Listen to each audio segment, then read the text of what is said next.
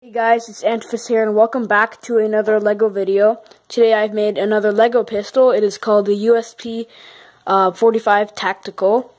Um, it comes with a suppressor and yeah. So I'll get into the actual specs. So it is 219 millimeters long, um, just like the real one. Um, features a nice grip that has a textured grip.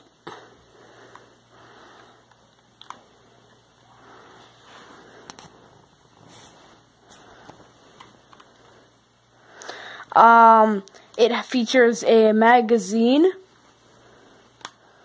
Here's the bullet that's chambered in, or loaded into the magazine. What else is there? There is also a working trigger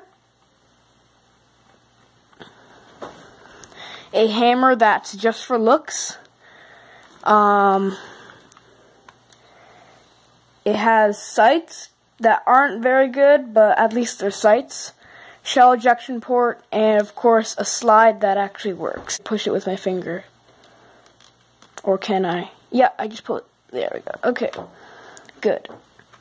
Um, the suppressor here just kind of droops down. So it looks really weird, but yeah. Here's the actual slide of it.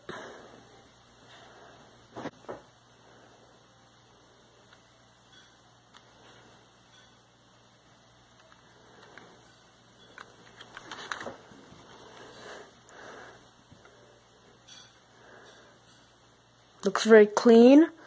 And let's get into actually shooting the gun.